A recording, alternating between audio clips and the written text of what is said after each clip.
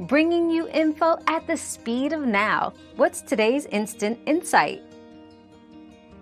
Silken tofu, cornstarch, and plant-based milk can be used instead of eggs in custard recipes. Silken tofu adds creaminess, cornstarch helps with thickening, and plant-based milk serves as the liquid base. Use 1 quarter cup of silken tofu or 1 tablespoon of cornstarch mixed with 3 tablespoons of water to replace 1 egg. These alternatives provide a similar texture and consistency, making your custard both delicious and egg-free. Another mystery solved, but many more await. Keep up with our daily discoveries by subscribing and turning on notifications.